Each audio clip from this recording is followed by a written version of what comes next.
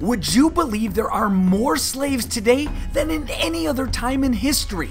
Millions snatched, stolen, and held against their will, most forced into a life of cruel, hard labor, others into a world of prostitution. If you eat seafood, there's a good chance it was produced by slave labor. One island paradise vacationers frequent may be the hub for human trafficking. And think it doesn't go on in the US? Thousands held and working against their will right here in America. My guest today wrote a book about this epidemic and wants to talk one on one with Nancy Hartwell. And here we go. All right, this is one of those subjects that I can't even believe in the modern world, um, Nancy, that we're even still talking about this. How is it that human trafficking is still a problem in, in the modern world? The State Department, that isn't exactly known for being wild, uh, estimates that worldwide there are at least 30 million people living in slavery or slave like conditions. This is more than at any other time in human history. And I thought the human race had gone beyond that by now. But guess what? We haven't. Is there a part of the world this is more of a problem uh, than other places? Yes, Southeast Asia is particularly particularly bad. Uh, China, India. Um, if you have seafood in your your freezer from Malaysia, Thailand, Vietnam, or Indonesia, there's about an 80% chance that it involved slave labor. The fishing industry there is heavily dependent on slave labor. So, in other words, in these countries, Malaysia, China, they are collecting young people just for work. Is that what we're talking about? Labor slavery is far more prevalent than sex slavery, which is a big enough problem on its own. Yes, um, they send recruiters to poor countries, offering unemployed young people fabulous jobs, and the families give them send off parties because they're going to be able to send money home. then they get to where they're supposed to go, and suddenly all the rules change, and they they find themselves working for nothing. And if they don't perform, they just shove them overboard. And obviously, they, they pick somebody that needs the money. They're desperate. So then what happens? They bring them to this location. Do they house them? Do they feed them? I mean, how, how does that work? They house them and feed them just barely enough to survive and make them work all day without pay. They confiscate their travel documents and, and they're stuck. The same thing is going on in the Persian Gulf. The the World Cup is going to take place, the finals in Qatar on the, the Persian Gulf in 2022. The facilities are under construction. Same idea. They go to poor countries, recruit desperate people, vulnerable people. They get there, they confiscate their travel documents, um, keep them under very close surveillance, make them work 18 hour days in 130 degree heat. The conditions are so bad that they have been averaging a death a day, and hardly anybody knows. No, well, take somewhere like China or Malaysia. Do they not notice these kids in these factories or working on a fishing dock? Do they not walk by these people and go, huh? That seems odd. What is that young man or young woman doing? Many of these uh, governments are either oblivious to the problem or just turn a blind eye. Um, Thailand recently was upgraded by the State Department from a tier three to a tier two because the country is finally trying to take some measures against these predators. Um, but in other places, they just they just don't seem to care. Um, do these kids ever try to escape, say, in these foreign countries? Do they try to run and, and, and get away? Uh, but yes, but it's really hard when you don't know where you are. You don't know where to run to. Um, Um, often you don't speak the language. It's it's really hard, and they keep them under very very close um, supervision. So uh, uh, there was a CNN crew that was in Cambodia um, a couple of years ago, and there was a um, a Cambodian slave who recognized one of the crew members as another Cambodian, and he talked to him and managed to escape that way. But that's that's a wild coincidence. yeah, it's really it's really hard. These people are stuck. What kind of crappy jobs are they making these people do? What are what are we talking here? Well, in India, it's like mostly making bricks and and um, doing the the really hard labor jobs that most people would not voluntarily do, um, or in, in, the fishing industry, in the um, garment industry, uh, in agriculture. In this country, it's in agriculture and in massage parlors and nail salons. Uh, that's that's the the the most frequent type. It, and the State Department estimates that here in the U.S. we have approximately 200 people who are are forced into labor that they do not want to do, and but they're stuck. Now, would any of this uh, type of labor bleed over into the factories and the garment areas and the the phone business like in other words it, where iPhones are constructed or where uh, our shirts are made. Are are we talking those places as, as well are using slave labor? Um, very often. Now there's been a movement recently to try to identify manufacturers who are clean and to source only from them. But the supply chain is very long and extremely complicated, and it's really hard to be 100% sure that none of the steps of this long process involve slave labor, because very often they do. So let's take this same subject um, human trafficking, slave labor in the United States. Does it exist here? Yes. what frequently happens is the coyotes, the, um, people who are paid to take um, immigrants across the Arizona desert and get them into a safe place. Half the time, they take them to a slave labor camp and sell them um, and then these people are stuck picking green beans or or whatever. Um, that wasn't the intention. That wasn't the agreement with the coyotes at all. But these coyotes, they're not exactly upstanding citizens. Um, and I mentioned nail parlors and and um, massage parlors.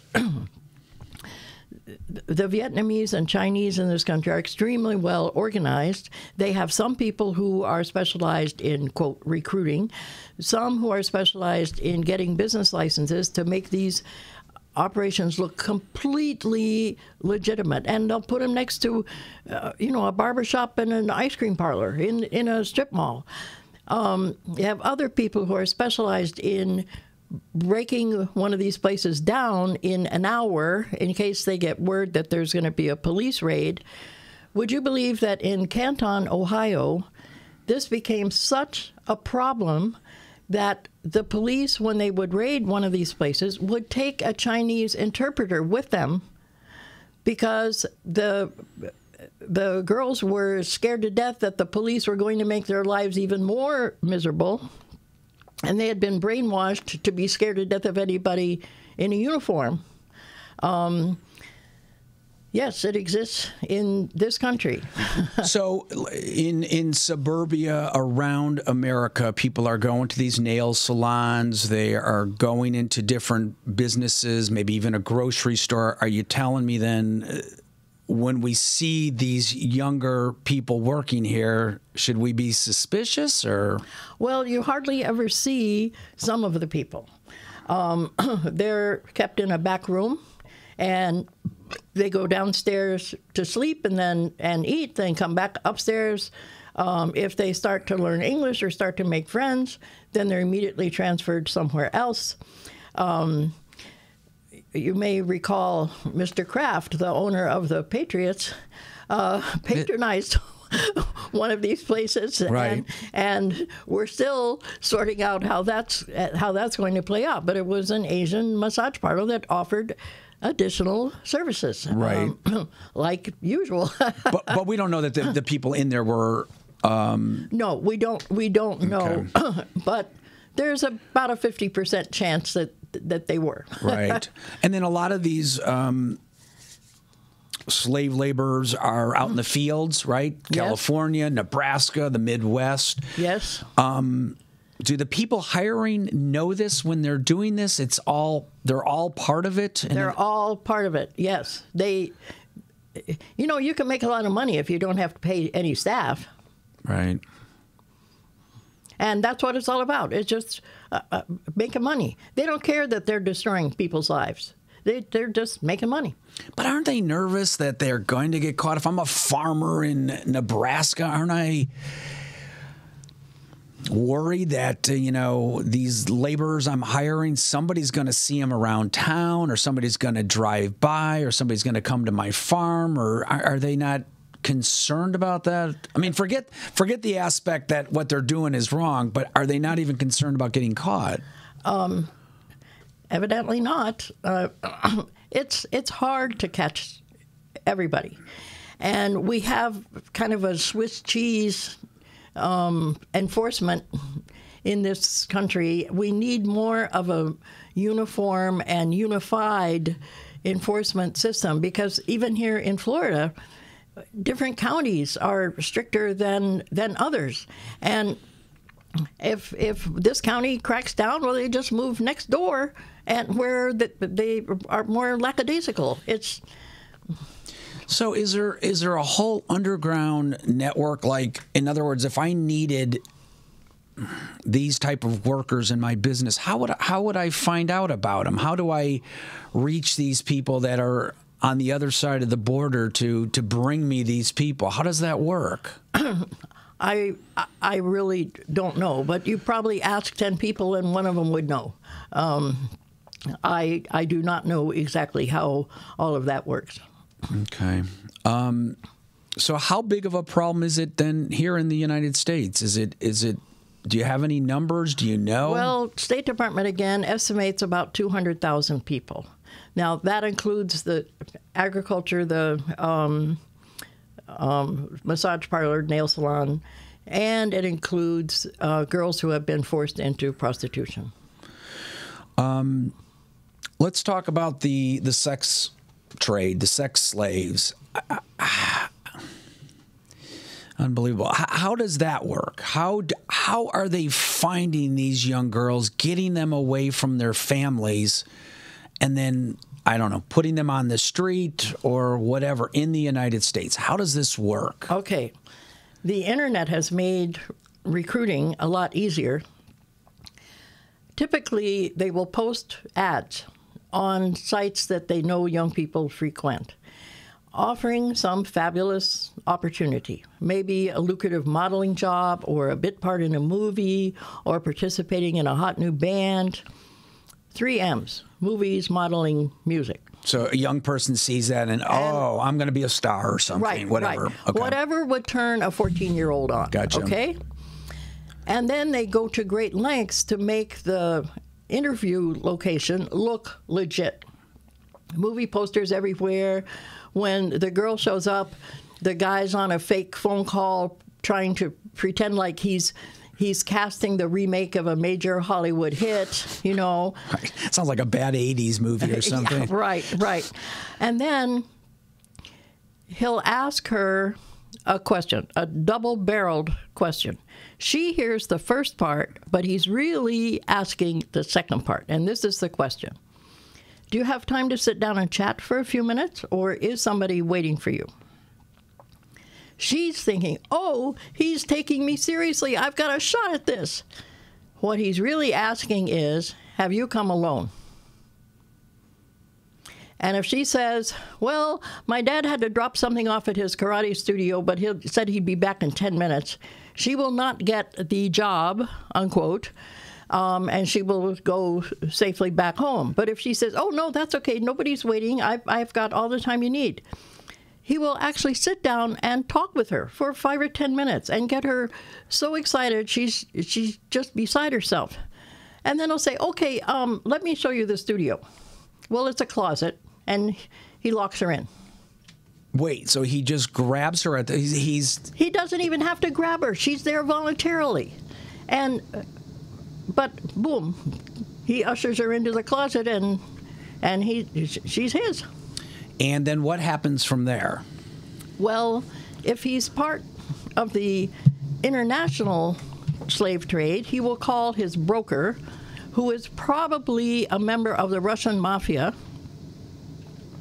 And in an hour or so, she is drugged and in a uh, industrial crate of some kind on an airplane, probably on her way to the uh, to a brothel or harem in the Persian Gulf. Um, if he's local, he might again just call his buddy the pimp, and um, and suddenly she's obligated to bring in, depending on the market, 300 500 or $1,000 a day, or be beaten to a pulp. So there are the so girls, and is it always girls? No, um, um, little boys are are at huge risk. There's there's just a bottomless market for pedophiles, and it's but girls are usually the prostitutes. Um, in St. Petersburg, just a few weeks ago, they found St. Petersburg, Florida, for Florida, everyone. yes, right? they found two teenage boys who had been lured um, to to come to St. Petersburg because it was going to be such a wonderful life, and they were held as sex slaves. Two teenage boys. So it's not just girls. So wait, so then they grab this person. You said they put them in some sort of container. Yeah. And then they're shipped off like a piece of cargo. Right. And right. they're off to the Middle East. Do they ever just keep them here in the U.S.? Um, it, the the market in the Middle East is so lucrative that it's well.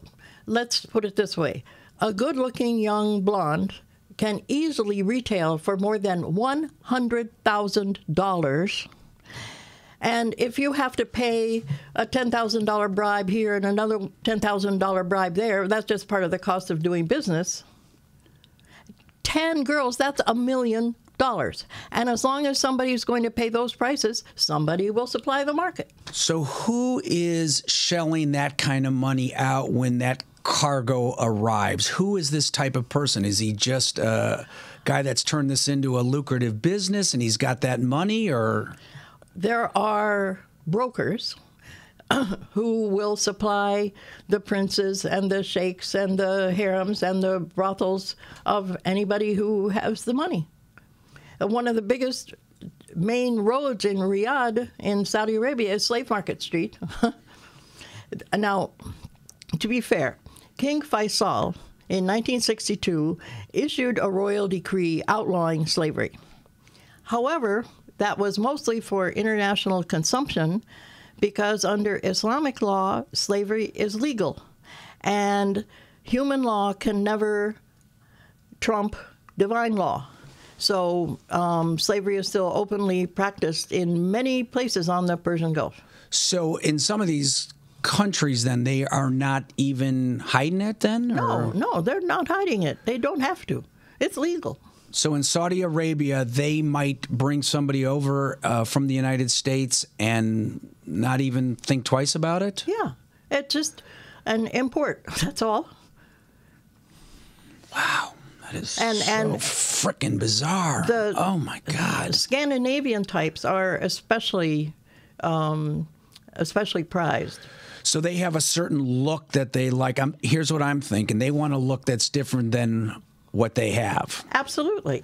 So these guys and yeah, these guys are looking for an American look, an all-American look, something different from what they're used to. Blondes and redheads in, in particular, yes. But um, chocolate people, vanilla people, caramel people, they're all at risk. Um, um, yeah, really. Is there, like, how young are we talking? Um, okay. Nine years old is considered prime time. That is not considered pedophilia in the Persian Gulf. The Prophet Muhammad married one of his 11 wives when she was six. He waited until she was nine to have relations with her. And his favorite wife, Khadija, he married when she was nine. And so, if the prophet does it, that's what you're supposed That's, to do. No, that's an interesting thing. Now, is religion part of the problem in that sense, where we're still looking at, you know, they're still looking at this ancient book and going, well, it's it's in here, so it must be okay. Right. Um, it is part of the problem. Now, I hasten to add, I am not anti Muslim. I used to be married to a guy from Cameroon. Half of my family is Muslim. So, but I am anti-slavery, and sometimes there's a there's a conflict. There was recently a case in Yemen where there was a 40-year-old who married an eight-year-old, and on their wedding night he attempted to have sex with her, and in the process injured her so severely that she died. Um, Jesus Christ! A piece of good news Pakistan recently outlawed child marriage, and they are enforcing it. You can't get married now until you're at least 18, and they are enforcing it because an eight year old cannot give consent. I mean, legal consent. That that is another form of of almost slavery when you an eight year old getting they should be playing with Barbie dolls, not For, forget about the sexual thing. What do you even talk about to an eight-year-old? I I have a seven-year-old at uh, home, and uh, it's like two different conversations. Yeah, well, the the idea is that that females were created for one purpose and one pers- purpose only, and you need to maximize that resource. That's the philosophy behind that. Um, yeah. So, is the United States cracking down on this? Do you find that in your in your research in your books that you've written, are you finding that the U.S. government is saying enough of this, even though Saudi Arabia is our ally, or is it looking the other way again? Well, it's a really ugly topic to bring up when you're trying to improve relations, and we've been trying to improve relations with the Arab world for the past several administrations, and this is it, it's it's usually just swept under the hand-woven slave labor rug. right, right. Yeah, it makes sense because we got so many other topics that this gets pushed down the list, and then you know when negotiations are being made on arms deals and other things, who's Right. going to then at the end of the meeting go, oh yeah, by the way, you know that shipping uh, kids back and forth that are nine years old? Uh, Could you guys um, maybe slow down on that a little bit? Yeah, yeah. Um, it, it's now the, the FBI has a special task force uh, against human trafficking, um, but it's a lot bigger problem than what they can they can deal with and. Um, the State Department does come out every year with a wonderful report that gives a country by country analysis. And then they, they rank each country tier one, tier two, tier three, tier four. Tier four is like Yemen, where the government is actually part of the problem.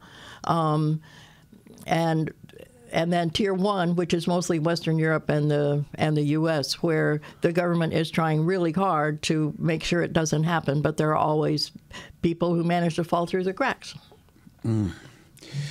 So let's talk about, uh, you know, I feel like I live now in a country where every parent. Let me let me let me go backwards.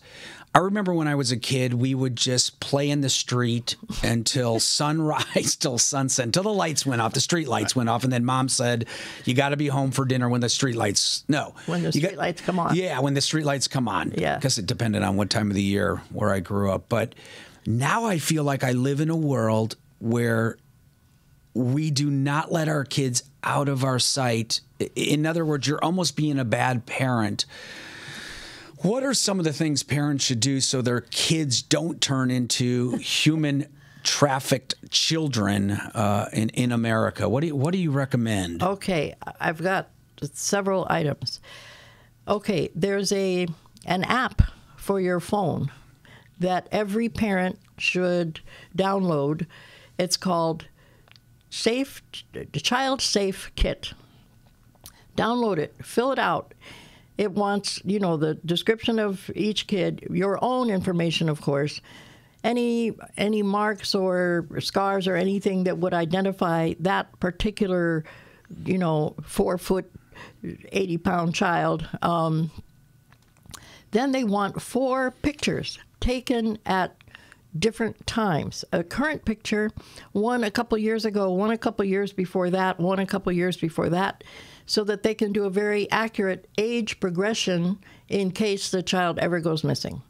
They also want fingerprints and a DNA sample, um, fingernail or toenail clippings, that because the DNA lasts for 30 years. Then, if the unthinkable ever happens and a child goes missing, you call 911. They put you in touch with a detective. You say, Look, I participate in the Child Safe program. What is your email? And then they push a button, and all this information goes directly to the detective who then sends it to all the agencies involved with the Amber Alert system. This saves hours of valuable time because every hour that goes by, the kid could be another 75 miles away. And this narrows the search uh, radius dramatically. So please, child safe kit on your on your cell phone. Number two, have a family password. This is really important even for little kids because sometimes predators will go to a school when it's letting out and they'll spot a kid with something that's personalized, like a baseball cap or a book bag. Oh, Billy, look, um, your mom couldn't make it to pick you up here today, so she sent me. Billy says, What's the password? And if the guy doesn't know, Billy knows he is absolutely not supposed to leave with him. Okay? Now, the Child Safe Kit suggests that you not have personalized items for your children. But that's not always practical. I mean, a, a class of 30 kids, you've got six identical book bags. It, it makes sense to, to have them personalized. But the password will help get around that. Now, you also need to warn your kids that there uh, are some really sneaky ways that they have devised to get around don't talk to strangers. Parents have done a decent job of teaching their kids not to talk to strangers. But predators know that.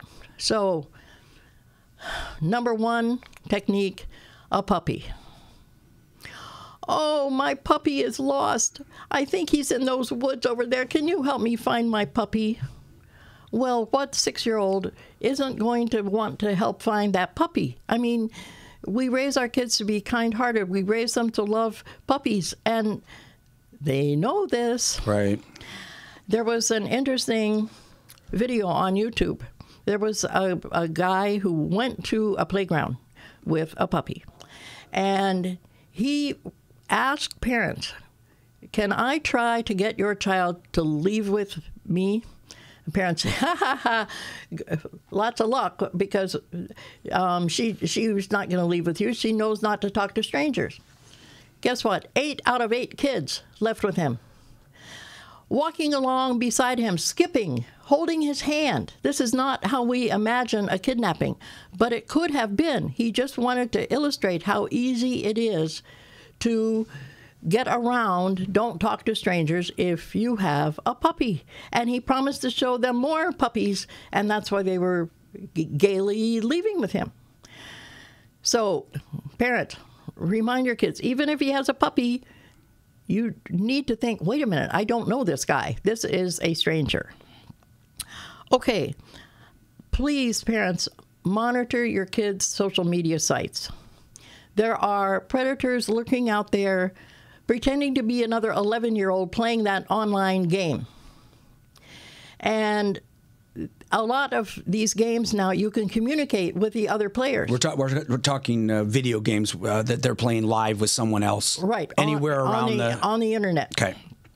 And if the the kids need to know that if it starts acting a little bit weird, like send me a picture of yourself without any clothes on, duh, it's probably not another 11 year old. And they should know to tell mommy or daddy immediately, if not sooner. and then work with your kids. You don't, you don't want to be the mean policeman, but sit with your kids and show them websites that have lots of red flags or pictures that never in a million years should have been posted on the on the internet. Um, girls, I know this sexting thing. When you're 15, it seems innocent enough, but don't do it. When you're 40 years old and you want to run for mayor, guess what? That guy probably still has those pictures and he can blackmail you. So don't even think about sending anything that you wouldn't want on the front page of a newspaper. Oh, that's a good way to look at it. Because it's going to be around for a while. It's going to be around for a while. And some of these pictures are supposed to, quote, disappear, but there are ways around that. And so don't take the risk, please. And runaways are at such high risk. They have targets on them the size of Texas, and predators can spot them at 50 paces. So if you know a kid who's even thinking about running away from home, home might be hell. I understand, but they haven't known what hell is until they're on the streets. And these predators will go to a park or a bus station or a train station looking for potential victims, and they'll be so nice. And they'll promise everything the kid needs, like a safe place to sleep, a hot meal. Oh, yes. and then after a couple days, okay, you owe me big time here. And boom, uh, they lower the boom. Um, another way that predators get around don't talk to strangers, sometimes they work in pairs. One creates a problem and then this hero solves it. Like there was this girl on a bus, and a guy sits down next to her, starts groping her. She gets mad. He gropes her again. She gets even madder. So this other passenger in, uh, who sees what's going on comes over, tells that guy to leave his hands off the kid, puts him in another seat. Then he sits down next to her. Did you ever tell your kid not to talk to heroes? Within 30 seconds, he can extract from her all the information he needs where she's going, is somebody going to be there to meet her? Um, the, these are really insidious ways of getting around. They try to break the stranger barrier right. and then move in for the kill. So then, are these children we're talking about in this type of situation? Are they then always moved out of the country, or sometimes they remain here? No, they often remain here, um, and you know, bring me three hundred dollars tomorrow, and you know, You can have yourself a kid. you yeah yeah you, or sometimes they they target particular individuals. Um, they will follow them.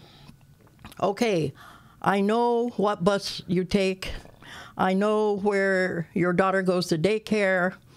Um, if you ever want to see your daughter again, you're going to do what I tell you. So, do you think a lot of these predators all across the country are just sitting there at bus stops or kid-friendly places and just kind of scouting the area? Do, do you They think that's often do that, or uh, at a mall. Yeah, yeah, yeah. That's how they. That's how they find their victims. They're looking for people who are vulnerable. But I would think like a mall with so many cameras around that they would just be they would just you know these predators would like to stay away from these areas because if they do nab a kid at a place like this they're gonna they're at least gonna be spotted Yeah, but see, they get the kid to leave with them voluntarily. They, I mean, it's not grabbing a kid and running away. Right. That would be way too obvious. But they have uh, very smooth techniques of getting a kid to leave with them voluntarily. Yeah. yeah i think this has just become like every mom's and and dad's I, I, I just feel like we are so now fearful in this country that and and maybe this is the answer. You just don't ever let your kid, you know, get out of your sight. Um, I, I, and I agree with you, educating your kids on on what they need to do. But I feel like we're just uh, getting to a point where we are just scared of any stranger coming up and talking to little Billy or little Susie. You know, it's just um, it's a lot different than the 1950s. Yeah, well, um, in some countries it's a lot worse. Uh, I had a friend who went on vacation in Morocco with her husband and her nine year old daughter and six year old son. And they were in Casablanca walking down a street, and, and the nine year old wandered maybe 20 feet away from them. A guy grabbed her and they and took off with her. They went to the police, and the police said, "Oh yeah, sorry about that. That happens."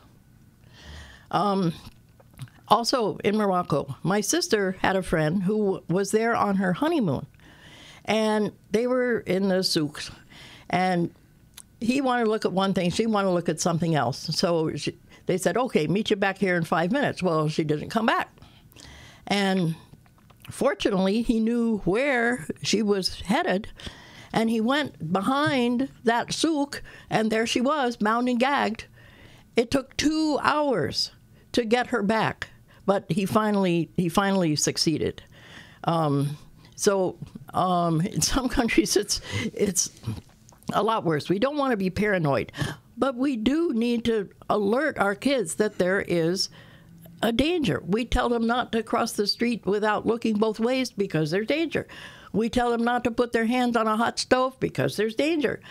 But for some reason, we're reluctant to talk to them about this because we don't want to traumatize them. Right. But in fact, we're putting them at additional risk because they aren't aware of the dangers. So um, please do talk to them. The Child Safe Kit has some good tips about about how to talk to your kids about about this issue without traumatizing. Just alerting them that they're not everybody in this world is, is well intentioned. I, I would would microchipping children solve this problem tomorrow if we had a chip in every human being that was born. Um, then we could track them and find them, or It would probably help. Um, in in a lot of countries, even getting a birth certificate is complicated, and a lot of girls grow up without a birth certificate. Um, but here in the United States specifically, I'm talking about if we put a microchip in every baby was born, when that child starts disappearing, we would know where they're at. Correct? well, it would it would make it a lot easier to track them. Yes. Yeah. Yes. But we got to convince the everyone to put a microchip in. We can't even people to do that with their dogs and cats. so Right. How how successful is that going to going to be, Nancy? Good plan. I'll, I'll get in. I'll get right on that. Um, I understand that the Russian mafia is very intertwined to the slave trade. Am I wrong on this? Um, you are unfortunately correct. And these guys are professional criminals. They know all the techniques, and you do not want to mess with them. Um, they used to just operate in Russia and Eastern Europe, but they noticed a vacuum, and so now their tentacles are absolutely everywhere. Um, the the principal place in the Western Hemisphere that they operate is Aruba. Aruba has three major industries. Wait, wait. The Aruba, where like where I've gone on vacation. Yes. They have three major industries. Number one, drugs. Number two, human trafficking. And number three, tourism. Okay, so then how is Aruba connected? Uh, how do they use Aruba in that way? It's a staging center. Um, that's where they they t- take um, potential victims and uh, and it, it's just their their headquarters for the for the Western Hemisphere. You might remember a case a few years ago. Um, a, a student from Alabama who disappeared in Aruba. We're not talking Natalee Holloway. See, yes. Um, and she fit the profile precisely, you know, blonde, blue eyed, cute. Um, and the guy that they had originally questioned regarding her, her quote, murder, but they never found her body, he, he told Greta Van Susteren that that he had sold her to an Arab who worked in the oil industry in Venezuela right next door. Um, makes perfect sense because nobody ever found her body. She fit the profile to a T, and this guy was a professional lowlife. Anyway, he's doing time in Peru right now because he got in trouble there for some other nonsense. That's not the Vandersloot guy, is Vander, it? Vander Sloot, yes. Yeah, because he grabbed another girl, brought her up to a hotel. If I remember the story right, I might not have it right, but I remember there was video of him bringing a girl up, and then she never left the hotel. Right, right. Um, he was a, a lowlife, for Right. sure. Yeah. So wait, now do you think he was conspiring to get her into the slave trade? Then Maybe, probably. he could make some money. He could make some money. Yeah, um, um, but but you really need to be careful because these. First of all, the mafia, they're not known as being very tender-hearted, um, and and they are professional criminals. They know every technique in the book, and they've invented a whole bunch themselves. Yes. Aruba. Aruba is a main point for this. That's unbelievable. Great for the tourism department there, right? Yeah. Well, I had a Real fri- selling point. come, come to Aruba and Right, give up your child. Right. I had a friend who went to Aruba um, for vacation, and when he came back, the immigration guys at the airport grilled him and grilled him, and he didn't understand why until I explained. Oh well, they want to know every place he went. Every, um, I think they thought he was dealing drugs, but but um, which is the number one industry. And by the way, human trafficking after illicit drugs is the biggest criminal enterprise in the world. It's a multi billion dollar international industry. After illicit drugs, it's number two. See, I've, uh, go back to that Natalee Holloway for a sec. I forgot the story too. They never found the body, right? No, this was in, I think, 2006. And he never said what he did. Well, he, he told 25 different, Different stories. stories, so they don't. Right. Is there a possibility she just could have been sold off somewhere and still alive Well, he said that he had sold her to an Arab who worked in the oil industry in Venezuela right next door. that was one of his stories. That was one of his stories, and it's the only one that ever made any sense. And they obviously went and checked with that person, and who What- knows? What what are you what are you going to do? I mean, Arabs keep their wives secluded. Right, right. and you can't go into a harem and start ripping Yeah, off veils. you, and, you can't just bust into the house now Right, in, right. A, in an Arab home and kick down the door and say, "Where where we're is gonna- she?" We're Yeah. going to search your harem. Yeah, right. right. Harem, in fact, it's the the Arab word for forbidden. Uh, harem is a forbidden place. Nobody is allowed to go there except the people who live there. Let's talk a little bit about what uh, these people that become human slaves somehow escape it. Somehow the frickin' they get away and they try to get back to normal life. Can can they return back to normal life? they can return to some semblance of normal life. I used to work with a, a shelter in Baltimore that rescued girls from the street and then tried to rehabilitate them, give them a high school education, some employable skills. Um, and it is really tough because imagine you're 13 years old and people have lied to you, deceived you, betrayed you, exploited you so many times and at such an impressionable age that you never ever really get over it. You learn how to cope, but you're scarred really for for life, um, and that's what makes this crime so tragic, is that it really destroys people's lives. They steal you. They steal your dreams. They they steal your future they steal you away from your family, from everything that you've known and loved, and and it's just a horrible, horrible crime. You've been talking about this for a lot of years. I know you've written a lot of books. I know you appear on a lot of media about this. How did how did this be? How did this journey begin for you? Okay, well, I mentioned before my husband was from Cameroon, and when I was living there, I lived there for 14 very nice years. um, I had a German friend named Ursula who just disappeared. They found her bicycle next to the road, but no Ursula, and nobody has heard from her or seen her since. Several weeks later, we heard rumors that were probably true that she had been sold to a sultan in Libya. And that spooked me really bad because 50 years ago I was pretty cute blonde myself, and I kept thinking, holy Toledo, that could have been me. And so I started collecting stories, and over the years, I've collected hundreds and hundreds of, of stories. And these are what my books are based on, are these true stories. They are faction. Um, now, they're classified as fiction because I don't have copies of police reports and dates and all of that. But they these are true stories that I collected over uh, nearly 50 years, and and so that's what my three books are are based on.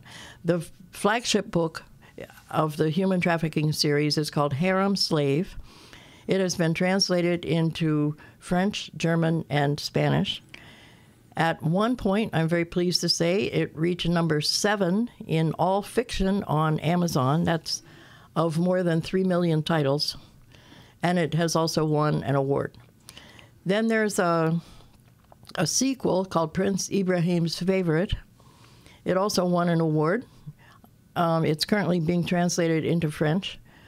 And um, then there's a companion volume to that called Voices from the Harem. Those are the three. They're available on uh, my website and through Amazon. My website, by the way, nancyhartwell.com, there's a five part course on modern day human trafficking and uh, 21st century slave trade. All we need is your email address, and it's absolutely free. We just want as many people to know about this as possible. It's, you know, the extent of the problem, the different forms that slavery takes in the world today, um, what people can do to help combat it. Um, please, um, you're you're welcome to sign up for the course on the website. Just click um, click on the icon and download it. Yeah. Do you think we will ever see a day where this will become a real little problem, or is this always going to be with us? I think it's always going to be with us. I mean, we've outlawed murder, it hasn't stopped murder. Um, um, I, am afraid it will always be w- with us because it's just too too good a way to make money, and there are always people that, that don't care that they're destroying other people's lives. They just want to make money. Yeah. Well, Nancy, interesting stuff. I'm uh, I'm fascinated. Um, I have a son. I'm going to watch him even closer now that I've talked to you. Now he's never going to go outside in the backyard and play. Uh, I feel like I now live in a country where um, you can't trust anyone. But I hope that's not true. No, we're we're much safer than in most countries. I've done a lot of traveling. I've been to 45 countries, including 14 in Africa and 14 in Asia, and um, we're we're in a, a, very safe country for the for the most part. Um, um, don't get paranoid, um, but but take precautions. Yes. All right, Nancy, we're out of here. Thanks so much, Randy. No more roach on Florida TV.